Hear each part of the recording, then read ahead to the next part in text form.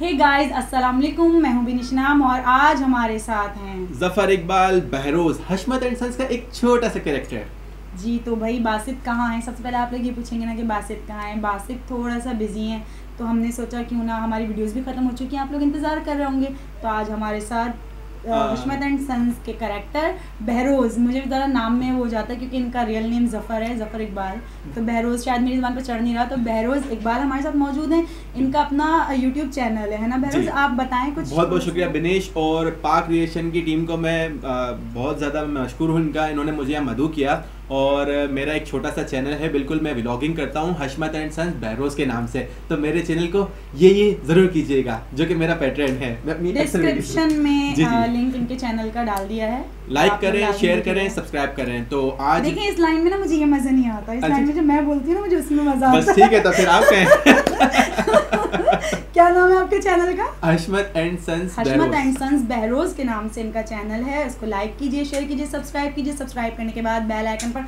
लाजमी क्लिक कर दीजिए ताकि इनकी भी वीडियोस की नोटिफिकेशन आप तक पहुँच सके। और हमारा तो करना ही करना है इसमें हाँ, बोलना क्या है? अपनी दोस्ती आ रही है तो कर ही लेंगे। और जो मेरे फैंस हैं जो मुझे देख रहे हैं तो पाक रिएक्शंस को तो बस फैला दें। दुनिया में जहाँ मिले वहाँ फैला दें। ये बातें सुननी चाहिए अच्छा? सही से जरा चौड़े होके। यारी लगाइएगा। अच्छा तो हम चलें तो फिर ज़फ़र इकबाल से आज हम हाँ। स्टार्ट करवाते हैं। हम क्या देखने वाले हैं? पहले मैं आप लोगों को बता दूँ। हम लोग हाँ। देखने वाले हैं थलाईवी ऑफिशियल ट्रेलर जो कि पिक्चराइज है कंगना रनावत पे। इसके बारे में हम बात बाद में करेंगे। पहले हम देख लें क्योंकि मैंने भी देखा नहीं है। नाम बड़ा सॉलिड लग रहा है। अब तो देखना ही पड़ेगा। तो चले आए देखते हैं ऑन हो? जया। वो फ़ील्ड वाली हमें बताएगी कि राजनीति कैसे की जाती है। ये मर्दों की दुनिया है। और हम एक औरत को आगे करके खड़े हैं उन्होंने जया को ही उनकी उत्तराधिकारी मानकर स्वीकार किया है Master ready? Clapping. Start camera.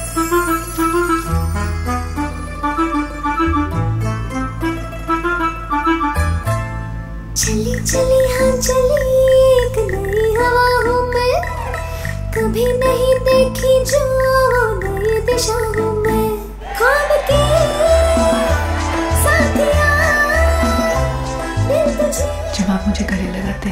तो बारे में सोचते हैं। मैं तुम्हारा क्या लगता हूँ? कभी तुम्हें माँ की तरह गले लगाया कभी तुमने गुरु की तरह सीख दी और कभी तुम्हें दिल में बसाकर भगवान की तरफ़ पूजा। ऐसा क्या ज़रूरी काम चल रहा था? एम मुझे बता रहे थे कि मेदुवड़ा में होल अंगूठे से ज़्यादा अच्छा पड़ता है उंगली नहीं करते। अमू मैं चाहता हूँ कि तुम पॉलिटिक्स ज्वाइन कर लो। अगर तुम जनता को प्यार दोगी तो वो भी प्यार देंगे।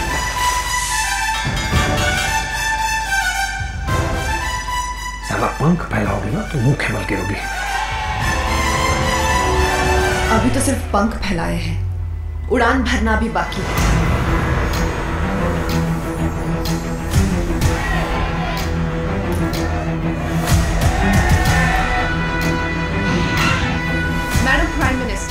You give an ounce to Tamil Nadu, it will give you back a pound. I didn't know South Indians can speak such good English. I also didn't know North Indians can understand such good English.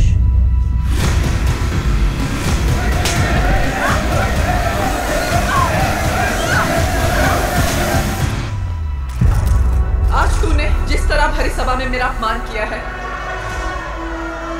वैसा ही चीरहरण कौरवों ने द्रौपदी का किया था वो सत्ता की लड़ाई भी वो जीती थी। और ये सत्ता की लड़ाई भी मैं जीतूँगी। क्योंकि महाभारत का दूसरा नाम है जया।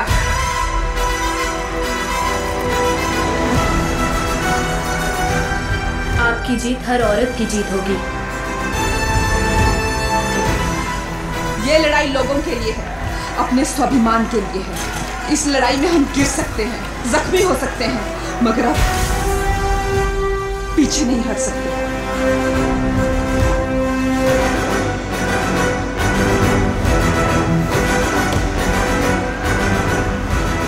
एक बात याद रखना, अगर मुझे माँ समझोगे, तुम्हें मेरे दिल में जगह मिलेगी। और अगर मुझे सिर्फ़ एक औरत समझोगे तो तुम्हें